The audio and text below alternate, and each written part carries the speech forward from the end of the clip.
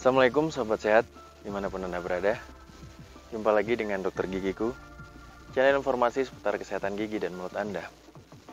Ya sahabat pada pagi hari ini saya berada di di Magelang. Ini kita sedang camping gitu ya. Sebenarnya saya nggak tahu tersesat juga ke sini tapi pemandangan yang luar biasa indah. Jadi cukup untuk merefresh setelah satu minggu bekerja dan kemudian ini charging besok minggu depan siap bekerja lagi. Ya sahabat pada kesempatan ini saya ingin membagikan sebuah kasus yang cukup menarik ya. Eh, di laporan kasus yang telah dipublikasikan pada eh, Makassar Dental Journal pada tahun 2018 dengan judul aplikasi bone graft dan platelet rich fibrin pada penanganan periodontitis agresif.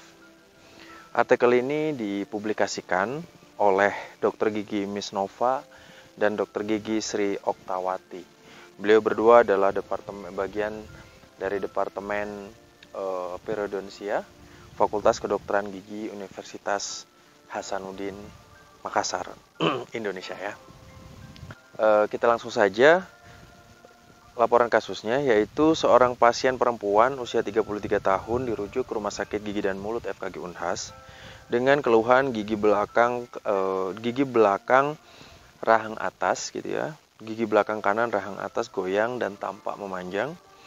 Dan kemudian dari anamnesis diketahui pasien ingin dirawat ortodontik menggunakan piranti cekat karena gigi geligi e, pasien renggang atau jarang-jarang. Pada pemeriksaan klinis, gigi 14, 15, 16, 17 mengalami kegoyangan derajat 2 disertai resesi gingiva. Pada saat dilakukan probing ditemukan pocket gingiva berkisar antara 6 sampai 8 mm. Pada gigi e, geligi regio posterior rahang atas. Pasien dirujuk untuk pemeriksaan radiografi, hasilnya menunjukkan kerusakan tulang secara vertikal dan horizontal. Dari pemeriksaan kesehatan secara umum tidak ditemukan adanya penyakit sistemik pada pasien. Jadi eh, kasus ini saudara kita sedang di apa ya diberikan ujian berupa sakit Allah gitu ya. Jadi gigi geliginya gigi 14, 15, 16, 17. Jadi jadi gigi 1 14 itu gigi geraham kecil pertama kanan atas, Terus kemudian geraham kecil kedua kanan atas, geraham besar pertama kanan atas, dan geraham kedua kanan atas. Jadi urutannya 14, 15, 16, 17. Di situ mengalami kegoyangan derajat 2. Derajat 2 itu berarti kegoyangannya itu kurang lebih ada margin bisa digoyang sebesar 1 mm ke kanan ke kiri. Nah, eh, kemudian disertai juga ada resesi gingiva. Resesi gingiva itu terjadi penurunan gusinya. Jadi giginya akhirnya nampak panjang-panjang karena gusinya turun. Dan setelah dilakukan probing lakukan probing itu dengan memasukkan alat ya namanya probe.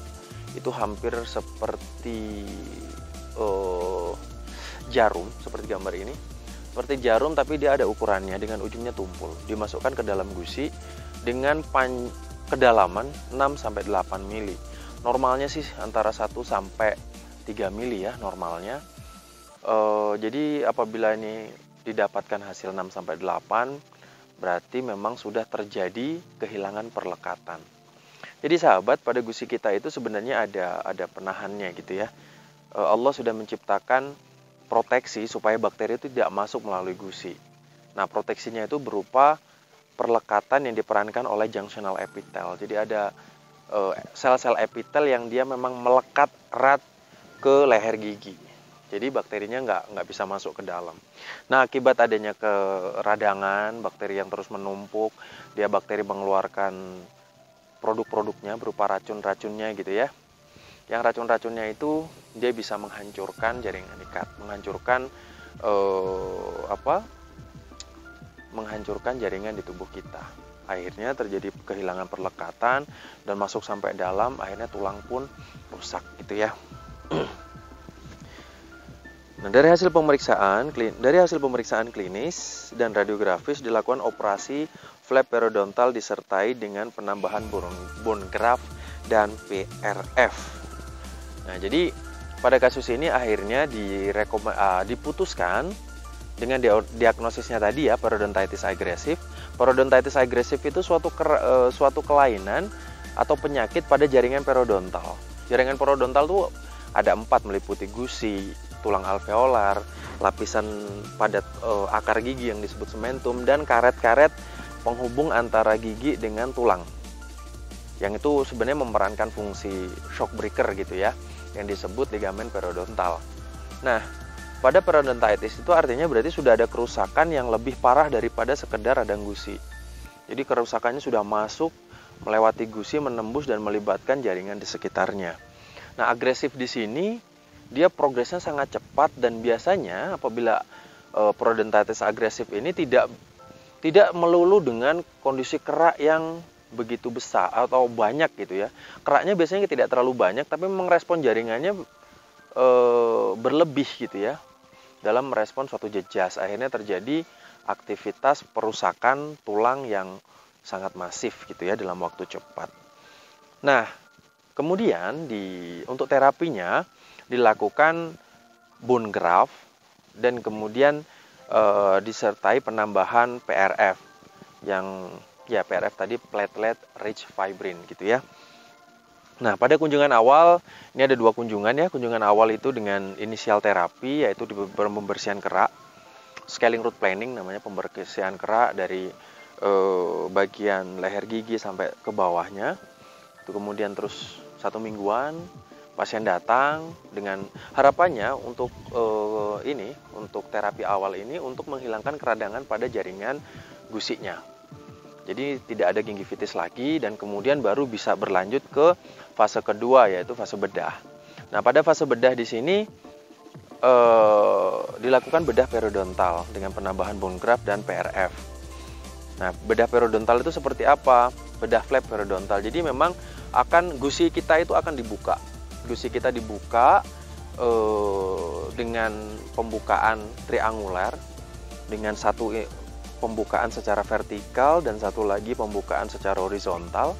Pembukaan vertikalnya itu di bagian e, geraham kecil pertama ya di bagian depannya. Nanti dibuka terus kemudian dibuka lagi sampai ke belakang sampai gigi nomor 7. Tujuannya untuk apa ya? Tujuannya memang untuk membersihkan jaringannya. Jadi setelah dilakukan anestesi terus kemudian asepsis dulu ya. Terus dikasih anestesi dan kemudian dibuka setelah dilakukan pembukaan, pembukaan tulang, terlihat tuh tulangnya. Tulangnya memang sudah sangat ini ya, sudah sangat berkurang. Nah, biasanya di sini akan digantikan dengan banyaknya jaringan ikat. Jaringan ikat fibrous biasanya ya. Terus kemudian kadang juga ada jaringan granulasi dan jaringan-jaringan e, rusak pada gusi. Nah, itu nanti dipotong. Nah setelah dibuka dibersihkan semua, dibersihkan benar-benar jaringan ikat fibrosnya dibersihkan, terus kemudian jaringan-jaringan yang nekrotik atau yang sudah mati itu dibersihkan. Semuanya sampai terbentuk uh, atau didapatkan permukaan tulang yang benar-benar fresh, benar-benar sehat tanpa terkotori oleh jaringan ikat atau jaringan lain yang memang tidak seharusnya ada di sana. Nah kemudian setelah uh, benar-benar bersih dan gusinya pun sudah dibersihkan, Eh, permukaannya. Jadi ibaratnya seperti kalau kita mau ngecat tembok atau mau menambal gitu ya di tembok kita, pasti cat lamanya harus dikelupas atau terus kemudian bagian permukaannya dikelupas e, supaya memang dapetin dua permukaan yang sehat atau bersih, kemudian baru bisa menempel. Begitu juga sama dengan jaringan tubuh kita. Jadi gusinya harus sehat dulu, benar-benar bersih gitu ya. Dipotong kalau perlu jaringan nekrotiknya atau jaringan matinya dipotong dulu supaya dapat permukaan yang benar-benar masih fresh. Nah setelah itu diambillah e, eh, PRF. Apa sih PRF itu? Jadi PRF itu se sebenarnya eh, faktor-faktor pertumbuhan gitu ya, growth factor yang berasal dari tubuh kita. Tubuh kita sendiri kan ketika terjadi luka itu terjadi homeostasis atau terjadi penyembuhan luka yang di mana penyembuhan luka itu me, me, me, mengeluarkan dari darah kita tuh mengeluarkan faktor-faktor e, pertumbuhan jaringan gitu kan. nah ini juga sama nanti diambil pengambilan melalui uh, pembuluh darah kita di lengan sini ya. Kemudian diambil dan setelah diambil darahnya disentrifuse atau diputar. Diputar kurang lebih 8 menit sehingga terbentuk seperti ini. Terpisah dia ya. Jadi antara uh, plasmanya terus kemudian eh, faktor-faktor pembekuan darah sama sel-selnya nanti akan terpisah. Nah, seperti ini ya. Nah, yang kita gunakan platelet rich factor itu yang warnanya bening ke kuning-kuningan seperti putih telur ini. Nah, inilah nanti yang akan kita gunakan sebagai membran gitu ya. Sebagai membran untuk menutupi bone graft. Setelah didapatkan ini, didapatkan uh, eh, PRF ini dari tubuh kita, Uh, jadi ini karena dari asalnya dari tubuh kita, insya Allah dia tidak ada terjadi reaksi penolakan ya uh, dari tubuh kita. Biasanya kalau benda asing gitu kan, tubuh kita bisa jadi dia uh, tubuh kita menolak, akhirnya terjadi radang dan kemudian terjadi nekrose gitu ya. Misalkan tubuh kita nggak menerima gitu, alergi karena respon alergi di sana muncul. Nah kalau dari tubuh kita sendiri insya Allah aman. Dan setelah dilakukan e, pembersihan tadi, diambil darahnya juga di sentrifuge sudah mendapatkan PRF dan kemudian tulang itu tadi ditutup dengan e, bone graft dengan e, cangkok tulang gitu ya, tapi yang berasalkan dari luar. Dikasih graft. Dikasih yang warnanya putih ini ditambahkan fungsinya untuk apa sih? Untuk meninggikan lagi tulang alveolarnya atau tulang e, rahangnya. Jadi ibarat pohon, pohon itu kalau misalkan eh, tanahnya nggak bagus gitu ya tidak kuat ya pohonnya akan tumbang berikut juga gigi kita gigi kita itu kan tertanam dalam tulang ya tulang rahang dan gusi atau yang disebut jaringan pendukungnya tadi yang empat ya nah pentingnya menjaga kesehatan dari keempat jaringan pendukung itu tadi karena kalau jaringan pendukungnya itu nggak sehat seberapapun bagusnya giginya pasti mau tidak mau akan terjadi goyang gitu nah kasus ini kita akan membentuk tulang lagi gitu. Karena kalau misalkan membentuk sendiri sudah hampir tidak mungkin, makanya kita tambahkan bone graft di sekitarnya. Nah, untuk mempercepat proses penyembuhannya atau proses eh, apa? pertumbuhan tulang itu tadi gitu ya, supaya menjadi tulang yang kuat dan menguatkan gigi, maka ditambahkanlah PRF sebagai matriksnya eh, sebagai membran di bagian atasnya. Dan setelah diberikan membran, terus kemudian ditutup, dijahit dan setelah dijahit kemudian ditutup dengan namanya pek periodontal. Pek periodontal itu lapisan putih yang fungsinya dia menutup supaya di bagian luka tadi itu tidak terjadi infeksi atau tidak ada jejas atau ada bakteri-bakteri yang memang kemudian merusak menghambat proses penyembuhan dari luka tersebut. Karena kita tahu bersama ya sahabat ya, di rongga mulut itu kan bakteri banyak, terus kemudian perubahan suhu juga begitu sering terjadi ya karena konsumsi makanan kita, pH uh, atau derajat keasaman dari rongga mulut kita, makanan, minuman sangat kompleks gitu ya. Beda lagi kalau luka di luar gitu kita bisa protek bener-bener supaya nggak basah karena rongga mulut kan nggak mungkin makanya dikasih pack periodontal. Nah setelah uh, dua minggu ini seperti foto di sebelah hasilnya seperti itu. Memang sayangnya dari uh, artikel ini tidak menyebutkan adanya uh, atau tidak dilihatkan hasil foto rongsen baik di awal maupun di akhir gitu ya. Di akhirnya itu biasanya kalau tulang itu terjadi penyembuhan antara 6 sampai 8 minggu kurang lebihnya. Jadi jika ada uh, rongsen itu akan lebih oke okay lagi. Tapi setidaknya dari artikel ini kita mendapatkan banyak informasi gitu, banyak pelajaran baik untuk sejawat dokter gigi ataupun sahabat sehat semuanya terkait penanganan pada kasus-kasus goyang. Jadi sebisa mungkin karena gigi itu luar biasa ya pentingnya gitu ya.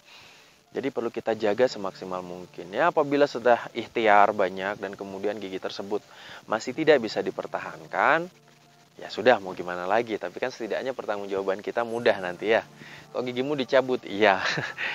karena sudah tidak bisa dipertahankan gitu. Saya sudah mengupayakan gitu. Karena gigi itu sangat berharga dan amanah yang besar dari Tuhan untuk kita jaga gitu kan.